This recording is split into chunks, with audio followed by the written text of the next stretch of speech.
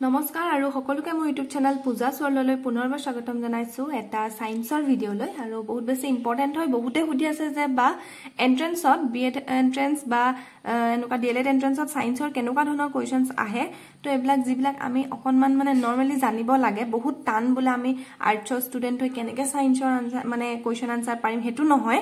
যিবিলাক নৰ্মেল মানে আমি সাধাৰণতে জানিবলগীয়া কিছুমান কুৱেশ্যনে আহে যিবোৰ আমি আচলতে পাহৰি যোৱা নিচিনা হয়। আগতে একেবাৰে মানে আঁতৰি অহা নিচিনা হয় যে আমি আৰ্টছৰ ষ্টুডেণ্টখিনি সেইটো কাৰণে। তো আপোনালোকে এই এনেকুৱা ধৰণৰ কুৱেশ্যনছবিলাক চালেই হৈ যাব। ঠিক আছে? তো ফাৰ্ষ্ট কুৱেশ্যনটো চাওক মই অসমীয়াত ট্ৰান্সলেট কৰা নাই কাৰণ বুজি পাবই আৰু সেইটো কাৰণে। অসমীয়াত কিন্তু কৈ দিম বাৰু মুখেৰে খালি লিখি দিয়া নাই। Which one of the following pair is not correctly matched বুজিটো পাইছে তলত দিয়া পেয়াৰখিনিৰ কোনটো মানে মিছ মেটছ হৈ আছে কোনটো মানে মিলি থকা নাই সুধিছে। ঠিক আছে? চাওক ইয়াত কিছুমান সঁজুলিৰ নাম দিয়া আছে এইফালে তাৰ কাম কি ব্যৱহাৰ কি দিয়া আছে ঠিক আছে? ফাৰ্ষ্টটো চাওক এনিমমিটাৰ তাৰ কাম কি দিছে? উইণ্ড স্পীড নেক্সটটো এমিটাৰ তাৰ কাম দিছে ইলেক্ট্ৰিক কাৰেণ্ট দেন দিয়া আছে টেকিঅমিটাৰ তাৰ কাম হৈছে প্ৰেচাৰ ডিফাৰেঞ্চ নেক্সটটো হৈছে পাইৰমিটাৰ তাৰ কাম দিয়া আছে হাই টেম্পাৰেচাৰ এতিয়া কোনটো মিলা নাই? এতিয়া মই এফালৰ পৰা কৈ দিছো চাওক। যিটো এনিমমিটাৰ আছে এনিমমিটাৰটোৱে বায়ুৰ গতি জুখিবলৈ ব্যৱহাৰ কৰে। ঠিক আছে? এইটোতো ঠিকেই আছে। দেন এমিটাৰ এমিটাৰটোৱে কি কৰে? ইলেক্ট্ৰিক কাৰেণ্ট বিদ্যুৎ প্ৰবাহ জুখিবৰ কাৰণে এমিটাৰ ব্যৱহাৰ কৰা হয়। চ' এইটো ঠিকে আছে। দেন পাইৰমিটাৰটো চাই লওক। হাই টেম্পাৰেচাৰ উচ্চ তাপমান জুখিবৰ কাৰণে পাইৰমিটাৰ সঁজুলি ব্যৱহাৰ কৰা হয়। ঠিক আছে? উচ্চ তাপমান হাই টেম্পাৰেচাৰ দেন চিটো চাওক। টেকিঅমিটাৰ যিটো প্ৰেচাৰ ডিফাৰেঞ্চ বুলি দিয়া আছে। একচুৱেলি টেকিঅমিটাৰটো ব্যৱহাৰ কৰা টেকিঅমিটাৰৰ সহায়ত মানে কি হয় লেণ্ডস্কেপবিলাকৰ যিবিলাক পথালি বা উলম্ব ঠিক আছে সেইবিলাকৰ দূৰত্বটোহে জোখা হয় টেকিঅমিটাৰৰ সহায়ত। চ' ইয়াত দিয়া আছে আকৌ প্ৰেচাৰ ডিফাৰেঞ্চ বুলি। কিন্তু প্ৰেচাৰৰ যিটো ডিফাৰেঞ্চ তাক জুখিবলৈ ইয়াক জুখিবলৈ আমি কি ব্যৱহাৰ কৰোঁ? মেনমিটাৰ বুলি এবিধ সঁজুলি আছে সেই সঁজুলিবিধহে প্ৰেচাৰ ডিফাৰেঞ্চটো জোখা হয় জুখিবলৈ ব্যৱহাৰ কৰা হয়। ঠিক আছে টেকিঅমিটাৰ সহায়ত লেণ্ডস্কেপৰহে মানে পথালি বা উলম্ব দূৰত্ববিলাক জোখা হয়। এই দুটা মিছ মেটছ হৈ আছে। তো আমাক সুধিছে যে ইজ নট কাৰেক্টলি মিটছ মানে মেটছড কোনটো মানে শুদ্ধকে মেটছ হৈ থকা নাই? তো অভিয়াছলি অপশ্যন নম্বৰ চি হ'ব। ঠিক আছে ন কোৱাকেইটা আপোনালোকে খালি লিখি ল'ব। এইকেইটাটো ঠিকে আছে এনিমমিটাৰ উইণ্ড স্পীড এমিটাৰটো ইলেক্ট্ৰিক কাৰেণ্ট পাইৰমিটাৰটো হাই টেম্পাৰেচাৰ এইকেইটা শুদ্ধ হৈ আছে। মাত্ৰ টেকিঅমিটাৰটো ক'লো নহয় যে লেণ্ডস্কেপৰ যিবিলাক উলম্ব থাকে পথালি থাকে ইয়াৰ তাৰ মানে ডিফাৰেঞ্চটো বা ডিষ্টেঞ্চটো দূৰত্বটো জুখিবলৈ টেকিঅমিটাৰ ব্যৱহাৰ কৰা হয়। আৰু প্ৰেচাৰ ডিফাৰেঞ্চ জুখিবৰ কাৰণে মেনমিটাৰ ব্যৱহাৰ কৰা হয়। ঠিক আছে। তাৰপিছত নেক্সট কুৱেশ্যনটো চাওক। Which one of the following method is used to separate water from alcohol water mixture? এইটোতো বুজি পাইছে যে এলকহল ৱাটাৰ মিক্সাৰ এটাৰ পৰা এলকহল বুজি পাইছে ৱাটাৰ বুজি পাইছে তাৰ মিক্সাৰ এটাৰ পৰা ছেপাৰেট ৱাটাৰ মানে পানীখিনি বা ৱাটাৰখিনি ছেপাৰেট কৰিবলৈ পৃথক কৰিবলৈ তলত দিয়া কোনটো মানে পদ্ধতি ব্যৱহাৰ কৰা হয় ইয়াত গোটেইকেইটা পদ্ধতি দিয়া আছে তো ইয়াৰ ৰাইট আনচাৰ হ'ব option number D distillation distillation ঠিক আছে যিটোক আমি অসমীয়াত পাতন প্ৰক্ৰিয়া বুলি কওঁ তাৰ সহায়ত এলকহল ৱাটাৰ মিক্সাৰ এটাৰ পৰা আমি ৱাটাৰখিনি ছেপাৰেট কৰিব পাৰোঁ। ঠিক আছে এইটোতো ইভাপৰেশ্যনটো গম পাইছে বাষ্পীকৰণটোতো নহ'ব কাৰণ এইটোতো গোটা আৰু তৰলৰ মিশ্ৰণৰ পৰাহে মানে গোটা উপাদান এটাক যেতিয়া পৃথক কৰা হয় সেইটো বাষ্পীভৱন। হ'ল। দেন এইটো ছাবমিলেশ্যনটো কৈ দিছোঁ অভ্যন্তৰীণ পদ্ধতি। এইটোত মানে কি হয় যেতিয়া পদাৰ্থ এটা থাকিব তাক কঠিনৰ পৰা পোনপটীয়াকৈ গেছীয় অৱস্থালৈ পৰিৱৰ্তন কৰে মানে। বুজি পাইছে? পদাৰ্থ এটাক কঠিনৰ পৰা পোনপটীয়াকৈ মানে গেছীয় অৱস্থালৈ লৈ যায় পৰিৱৰ্তন কৰে। সেইটো ছাবমিলেশ্যন ঠিক আছে? দেন ডিচেণ্টেশ্যন ডিচেণ্টেশ্যনটো এইটো যে ডিচেণ্টেশ্যনটো পাইছিলোঁ কি যে যেতিয়া কিবা এটা মিক্স হৈ আছে যেনিবা হা গোটা বা তৰলৰ স্তৰৰ পৰা যিটো ওপৰৰ তৰল স্তৰটো আঁতৰাই কঠিন আৰু মিশ্ৰণ নকৰা তৰলৰ পৰা তৰলখিনি পৃথক কৰা। ইমানকৈ কৈ থাকিলে বুজি নাপাব মুঠতে। এনেকৈ মিক্স হৈ থাকিব তাৰপৰা ওপৰৰ মানে পৰ্চনটো ওপৰৰ মিক্সখিনি এনেকৈ আমি ঢালিও মানে তলৰখিনিক পৃথক কৰি দিব পাৰোঁ মানে। সেইটো ডিচেণ্টেশ্যন আপোনালোকে মোক কমেণ্ট কৰি এইটো কথা জনাব দেই। ইয়াৰ কিন্তু ৰাইট আনচাৰ হ'ব ডিষ্টিলেশ্যন আমাৰ যিটো কুৱেশ্যন দিছে যে এলকহল ৱাটাৰৰ পৰা আমি ৱাটাৰটো কেনেকৈ ছেপাৰেট কৰিম সেইটো হ'ব কি পাতন প্ৰক্ৰিয়া। ঠিক আছে? দেন নেক্সটটো চাওক the number of chambers in a human heart is মানৱ হৃদয়ত মানে কেইটা চেম্বাৰ থাকে বুলি সুধিছে? মানৱ হৃদয়ত কেইটা চেম্বাৰ থাকে? আমিতো হাৰ্ট বুলি ক'লে এইটো চেপে আহে তো ইয়াত এনেকৈ মনত ৰাখি থ'ব। ইয়াত চাৰিটা মানে চেম্বাৰ থাকে। চাৰিটা মানে কি কয় এইটো? কক্ষ থাকে বুলি কয় ন? কোঠালি থাকে তাৰমানে। হ'ল? মানৱ হৃদয়ত চাৰিটা কোঠালি থাকে। ঠিক আছে? এইখিনিতে আৰু এনেকুৱা কুৱেশ্যনো আহিব পাৰে যে চৰাই দেহত কেইটা থাকে? চবতে বেলেগ বেলেগ থাকে আচলতে। চৰাই ক্ষেত্ৰত থাকে চাৰিটা লিখি ল'ব। চৰাই ক্ষেত্ৰত হাৰ্টত চাৰিটা চেম্বাৰ থাকে বাৰ্ডছৰ ক্ষেত্ৰত। বাৰ্ডছৰ ক্ষেত্ৰত থাকে চাৰিটা। ঠিক আছে। আৰু যিটো আমি মেমেলছ বুলি কওঁ মানে স্তন্যপায়ী লিখি ল'ব আপোনালোকে মেমেলছ বুলি। স্তন্যপায়ী আমি অসমীয়াত কওঁ। মানে যিবিলাকে মানে সেইখিনিও মানে স্তন্যপায়ী প্ৰাণীতে পৰোঁ। ঠিক আছে। পোৱালি জন্ম দিয়ে মানে। ঠিক আছে? তাৰপিছতে আৰু কি কয় তেতিয়া ইহঁতৰো চাৰিটাই থাকে। যিহেতু মানুহৰ চাৰিটা গতিকে স্তন্যপায়ী ক্ষেত্ৰতো চাৰিটাই হ'ব। মানুহ স্তন্যপায়ী প্ৰাণীতে পৰে। ঠিক আছে? মেমেলছতে পৰে মানে। তাৰপিছতে দেন আৰু আহিব পাৰে আপোনালোকৰ উভচৰ যিটো। ঠিক আছে? এমফিবিয়েন্স বুলি কয় সেইটো উভচৰ বুলি কয় অসমীয়াত উভচৰ যেনেকৈ ভেকুলী হা এইটোৰ ক্ষেত্ৰত আকৌ তিনিটা চেম্বাৰ থাকে। তাৰপিছতে ৰেপটাইলছবিলাক যিবিলাক ৰেপটাইলছ বুলি কয় অসমীয়াত ক'ব সৰীসৃপ প্ৰাণী যিবিলাক বগাই যায় মানে হা এইবিলাকৰ ক্ষেত্ৰতো তিনিটা চেম্বাৰ থাকে। কিন্তু সৰীসৃপৰ ক্ষেত্ৰত ক্ৰক মানে কি কয় ঘঁৰিয়ালো পৰে ক্ৰকডাইলো পৰে কিন্তু ক্ৰকডাইলৰ আকৌ চাৰিটা থাকে। চাৰিটা থাকে আকৌ। সৰীসৃপৰ তিনিটা চেম্বাৰ থাকে।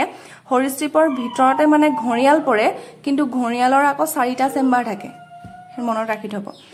আৰু কি থাকি গ'ল? এইকেইটাই মনত ৰাখিলে হ'ল। অঁ আৰু মাছ। ফিছ। মাছৰ ক্ষেত্ৰতো কিন্তু দুটা থাকে চেম্বাৰ। ঠিক আছে? সৰীসৃপ যিটোক আমি ইংৰাজীত কওঁ ৰেপটাইলছ তাৰ ক্ষেত্ৰত তিনিটা চেম্বাৰ থাকে ঠিক আছে? মানে হাৰ্টত তাৰপিছত মাছৰ ক্ষেত্ৰত দুটা থাকে হা? তাৰপিছত খালি সৰীসৃপ মানে কি কয়? ৰেপটাইলছৰ মানে এটা ভাগ হয় ক্ৰকডাইল সেই ক্ৰকডাইলৰ কিন্তু আকৌ চাৰিটা থাকে। ইনে ৰেপটাইলছ বা সৰীসৃপৰ তিনিটা কিন্তু ক্ৰকডাইলৰ চাৰিটা। এনেকুৱাবিলাক আহে কিন্তু কুৱেশ্যন তাৰপিছত এমফিবিয়েন্সবিলাক যিবিলাক উভচৰ প্ৰাণী বুলি কওঁ আমি সেইবিলাকৰ ক্ষেত্ৰত থাকে তিনিটা ঠিক আছে? বাকী মানুহটো আমাৰ মানুহ ক'ত গ'ল? আমাক দিছে কুৱেশ্যনটো মানুহৰ ক্ষেত্ৰত থাকে আমাৰ চাৰিটা আৰু আমাৰ যিটো স্তন্যপায়ী প্ৰাণী বুলি কয় মেমেলছ সেই সকলৰ ক্ষেত্ৰত চাৰিটাই থাকে। যিহেতু মানুহ স্তন্যপায়ীতে পৰে বাৰ্ডছৰো চাৰিটাই থাকে। মষ্ট ইম্পৰ্টেণ্ট হয় মনত ৰাখি থ'ব। ঠিক আছে। নেক্সট কুৱেশ্যনটো হৈছে athlete's foot is a disease caused by athlete foot এটা বেমাৰ হয় এইটো ইয়াৰ কাৰণ কি বুলি কৈছে? ভৰিত হয় এইটো। আগতে এটা মই ছায়েন্সৰ কৈছোঁ আপোনালোকে ছায়েন্সৰ ভিডিঅ' মই দিয়া আছে কিন্তু আপোনালোকে চাব পাৰে। ইম্পৰ্টেণ্ট ইম্পৰ্টেণ্ট বাছে বাছে একচুৱেলি দিছিলোঁ। তাত যে মই এই কুৱেশ্যনটো দিছোঁ তাতো দিয়া আছে। ভালকৈ ফটো এখনো দেখাই দিছিলোঁ ভৰিৰ তলত কেনেকুৱা হয়। সেইটোক এথলেট ফুড বেমাৰ বুলি কয়। এইটোৰ মানে কি কাৰণে হয় বুলি কৈছে? বেক্টেৰিয়া নে ফাংগাছ নে প্ৰট'জৱা নে নেমেটড ইয়াৰ ৰাইট আনচাৰ হ'ব ফাংগাছ ভেঁকুৰৰ কাৰণে হয়।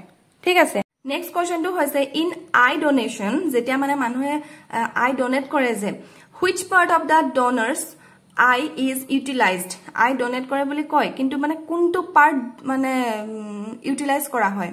চকুৰ কোনটো part iris retina lens cornea আমিতো অসমীয়াটো সেনেকেই কয় আইৰিছ ৰেটিনা লেন্স কৰ্ণিয়া ইয়াৰ ভিতৰত ৰাইট আনচাৰ হ'ব কৰ্ণিয়া। এইটো ইম্পৰ্টেণ্ট হয়। যেতিয়া আমি আই ডনেট কৰে বুলিয়ে জানো কিন্তু চকুৰ কোনটো অংশনো ডনেট কৰে বা কোনটো অংশ ইউটিলাইজ কৰে আনজনৰ কাৰণে। সেইটো হৈছে cornea.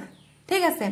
Then নেক্সটটো the major component of honey is এইটো বুজি পাইছে? হানিৰ মেজৰ কম্পনেণ্ট কি বুলি সুধিছে? অপশ্যন দিয়া আছে হানিটো বুজি পাইছে? মজুল গ্লুক'জ মাল্ট'জ ফ্ৰেক্ট'জ আৰু চাক্ৰ'জ ইয়াৰ ভিতৰত ৰাইট আনচাৰ হ'ব ফ্ৰাক্ট'জ এইটো মই কেনেকৈ মনত ৰাখোঁ জানেনে? হানি যিহেতু কৰ্পৰা মানে মৌ মাখিবিলাকে কি কৰে? ময়ে ফুল আৰু এইটো কি কয় ফল মূলৰ মানে ৰসহে শুহে হয় নাই? ফুলৰ ৰস শুহে বা কেতিয়াবা ফল মূলৰ ৰস শুহে। সেই ফল মূল বা ফুলৰ পৰা এফ আহে মানে। ফ্ৰাক্ট'জ ফ্ৰুইটছ ফ্ৰাক্ট'জ এনেকৈ মনত ৰাখি থৈছোঁ। সেইকাৰণে the major component of honey is কি হ'ব? ফ্ৰাক্ট'জ ঠিক আছে। তাৰপিছত মানে এইটো কম্পনেণ্ট হানি মানে এইটো বুজি পাইছে আৰু ন মানে মৌজোলটোৰ মানে মিঠা মিঠা যে লাগে আমাৰ হা তাৰ মেজৰ কম্পনেণ্ট তাৰ কম্পনেণ্টটো কি মানে ইয়াৰ কাৰণে ফ্ৰাক্ট'জৰ কাৰণে লাগে। তাৰপিছতে the velocity of sound is minimum in মানে যিটো ধ্বনি বা শব্দৰ যিটো মানে বেগ ভেলচিটি সেইটো ক'ত মানে মিনিমাম হয় বুলি কৈছে একেবাৰে কম হয় বুলি কৈছে। শব্দৰ যি বেগ বা বেগটো মানে ভেলচিটি মানে বেগ আচলতে সেইটো আটাইতকৈ নিম্নতম হয় কিহত? ৱাটাৰ এয়াৰ আইৰণ ভেকুৱাম ইয়াৰ ৰাইট আনচাৰ হ'ব অপশ্যন নাম্বাৰ ডি ভেকুৱাম কাৰণ আইৰণ চাইৰণটো বহুত যেতিয়া মানে যিকোনো ধাতু হা ইংলিছত কয় যে চলিড হা ধাতু বা ইংলিছত কোৱা হয় চলিড এইবিলাকৰ ক্ষেত্ৰত কি হয়? বহুত সোনকালে মানে চাউণ্ডটো যায়। সেইকাৰণে মানে এতিয়া স্কুলত বেলটো মাৰিলেও বেলটো আমাৰ মৰা সেইডাল লোহাৰই হওক বা যিয়ে হওক কিন্তু বেলটোতো লোহাৰৰ হয়। তো তাত যেতিয়া মাৰি দিওঁ সেইটোতো ধাতু হয় তো টাং কয় বহুত জোৰচে আৱাজ দিয়ে। বুজি পাইছেনে কি কৈছোঁ? মানে এনেও শব্দটোক মানে এটা ঠাইৰ পৰা আন এটা ঠাইলৈ যাবৰ কাৰণে কি হয় এটা মাধ্যমৰ প্ৰয়োজন হয় যিটোক মিডিয়াম বুলি কওঁ ইংৰাজীত। শব্দটো এটা ঠাইৰ পৰা আন এটা ঠাইলৈ যাবলৈ এটা মাধ্যমৰ প্ৰয়োজন হয়। বুজি পাইছে? আৰু এইবিলাক ধাতু বা এনেকুৱা চলিড এনেকুৱাত মানে খুব স্পীডত পাৰ হৈ যায়। ধ্বনি বুজি পাইছে? বা শব্দৰ যিটো বেগ সেইটো বহুত বেছি স্পীড হয়। বুজি পালে? আৰু এনেও পানী বা বায়ু মানে ৱাটাৰ আৰু এয়াৰত এয়াৰতো পাৰ হয় কিন্তু লাহে লাহে যায় বা অলপ দেৰি লাগে। ঠিক আছে? কিন্তু ভেকুৱামত কোনো ধাতু বা অনুপৰমাণু নাই ভেকুৱামত বুজিলে? সেইকাৰণে ইয়াত একদম মিনিমাম হয়। ঠিক আছে? ভাবিছোঁ বুজি পাইছে বুলি। Then নেক্সটটো how many bones are present in human ears এক মানুহ মানৱ দেহৰ মানে কাণত মানুহৰ কাণত মানে কিমানডাল বন থাকে বুলি কৈছে কিমানডাল হাড় থাকে? এইটো কুৱেশ্যন মষ্ট ইম্পৰ্টেণ্ট হয়। থাকে ছডাল মনত ৰাখি থ'ব। মানুহৰ কাণত আমাৰ কাণত কি হয়? কাণখনত কিমানডাল বন থাকে বুলি কৈছে? ছডাল ঠিক আছে।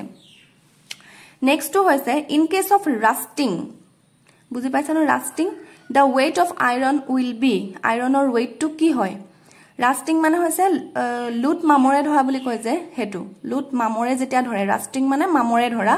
তেতিয়া আইৰণৰ ৱেইটটো কি হয়? ইনক্ৰিজ বাঢ়ি যায় ডিক্ৰিজ কমি যায় নে ৰিমেইন ছেইম একেই থাকে বুলি কৈছে। যেতিয়া মানে হেৰি হয় এডোখৰ লুট বা আইৰণত যেতিয়া মামৰ লাগে ৰাষ্টিং হয় মামৰ লাগে তেতিয়া তাৰ ৱেইটটো কিন্তু ইনক্ৰিজহে হয় বাঢ়ি যায়। হ'ল? নেক্সটটো হৈছে the weight of our body is mostly made of আমাৰ বডিৰ যিটো ৱেইট আমাৰ শৰীৰত যিটো ওজন সেইটো কিহ মানে কিহৰ কাৰণে বেছি হয় বুলি কৈছে? ফ্ৰম বনছ হাড়ৰ কাৰণে পাৰ্টছ অফ বডি এইটো বুজি পাইছে শৰীৰৰ বিভিন্ন অংগৰ কাৰণে। ফ্ৰম ৱাটাৰ পানীৰ কাৰণে পাৰ্টছ অফ স্কিন স্কিনৰ পাৰ্টছৰ কাৰণে। এইটো শুনি হয়তো আচৰিত খাব এইটো কিহৰ কাৰণে জানেনে? ফ্ৰম ৱাটাৰ পানীৰ কাৰণে। ঠিক আছে পানীৰ কাৰণে আমাৰ বডিটো মানে ৱেইটটো বাঢ়ি যায়। বুজি পাইছে? প্ৰত্যেকটো বস্তুতে কিন্তু ৱাটাৰ থাকে কম বেছি পৰিমাণে হ'লেও। সেইটো কাৰণে মানে আমি যিকোনো বস্তুৱে লাগিলে খাওঁ পানীৰ মাত্ৰাটো বাঢ়ি যায়। পানীৰ মাত্ৰা যেতিয়া বাঢ়ি যায় আমাৰ বডিৰ ৱেইটটো বাঢ়ি যায়। ঠিক আছে? সেইকাৰণে মানে ৰাতি ভাত কমটিকৈ খাবলৈ কয়। কাৰণ ৰাতিপুৱালৈ আমাৰ সেই পান তাৰ পৰা ওলোৱা সেই যিটো পানীটোৱে আমাৰ ৱেইটটো বহুত বেছি বঢ়াই দিয়ে আচলতে। বুজি পালে? কথাটো তেনেকুৱা। সেইকাৰণে ৱাটাৰৰ কাৰণে কি হয় আমাৰ শৰীৰৰ ৱেইটটো বহুত বেছি বাঢ়ি যায়। ঠিক আছে? লাষ্ট কুৱেশ্যনটো হৈছে আৰু বহুত বেছি ইম্পৰ্টেণ্ট কুৱেশ্যনটো হৈছে যে which one of the following organ is affected by malaria মেলেৰিয়াৰ দ্বাৰা মানে শৰীৰৰ কোনটো অংগ এফেক্ট হয় বুলি কৈছে। ঠিক আছে? অপশ্যন দিয়া আছে হাৰ্ট লাঞ্চ কিডনী স্প্লিন ঠিক আছে? আৰু লাঞ্চটো বুজি পাইছে আৰু কিডনী বুজি পাইছে বৃক্ক স্প্লিন মানে অসমীয়াত কোৱা হয় প্লিহা। ঠিক আছে। তো ইয়াৰ ভিতৰত কোনটো অৰ্গেন মানে এফেক্ট কৰে বুলি কৈছে মেলেৰিয়াই? তো ইয়াৰ শুদ্ধ উত্তৰটো হ'ব অপশ্যন নাম্বাৰ ডি প্লিহা। ঠিক আছে। মেলেৰিয়াই মানে আমাৰ এইটো অৰ্গেনকহে এফেক্ট কৰে বুলি কৈছে। আৰু মেলেৰিয়া কিহৰ কাৰণে হয় সেইটো আহিব পাৰে। মেলেৰিয়া আচলতে প্লাজমডিয়ামৰ বাবে হয়। হ'ল। আৰু ই এক প্ৰকাৰৰ প্ৰটজোৱা হৈছে। প্লাজমডিয়াম। ইম্পৰ্টেণ্ট হয় মেলেৰিয়া প্লাজমডিয়ামৰ বাবে হয়। ঠিক আছে? আৰু ই এক প্ৰকাৰৰ কি হয়? প্ৰটজোৱা প্ৰটজোৱা ঠিক আছে? আৰু প্লাজমডিয়াম মানে মাইকী এনফিলিছ মহৰ দ্বাৰা বিয়পে। প্লাজমডিয়াম কি কৈছে? মাইকী এনফিলিছ মহ। মাইকী এনফিলিছ মহৰ দ্বাৰা বিয়পে। হ'ল মাইকী এনফিলিছ মহৰ দ্বাৰাহে প্লাজমডিয়াম বিয়পে আৰু এই মাইকী এনফিলিছ মহটোৱে তেজ শুহে মানে তেজটো সদায় মাইকী মহে শুহে আচলতে। ঠিক আছে এইটো তেনেকৈ তাহাঁতৰ এইটো তাৰপিছত কি হয় মানুহৰ দেহলৈ গুচি আহে। তাৰপিছতে আমাৰ এইটো হয় আচলতে মেলেৰিয়া হৈ যায়। মাইক মেলেৰিয়াটো আচলতে কি হয় কাৰ বাবে হয় প্লাজমডিয়ামৰ বাবে হয় যিটো এক প্ৰকাৰৰ প্ৰটজোৱাহে হয়। আৰু এই প্লাজমডিয়ামটো কঢ়িয়াই ফুৰে মাইকী এনফিলিছ মহে বুজি পালে? তাৰপিছতে মানৱ দেহলৈ গুচি আহে। তো যদি ভিডিঅ'টো ভাল পাইছে প্লিজ লাইক শ্বেয়াৰ আৰু ছাবস্ক্ৰাইব কৰি দিব। আৰু যদি বুজি পাইছে আৰু যদি ক'ৰবাত কিবা হৈও গৈছে তো কমেণ্ট কৰি জনাই দিব। বাকী ভিডিঅ'টো যদি শেষলৈকে চাইছে থেংক ইউ ছ' মাছ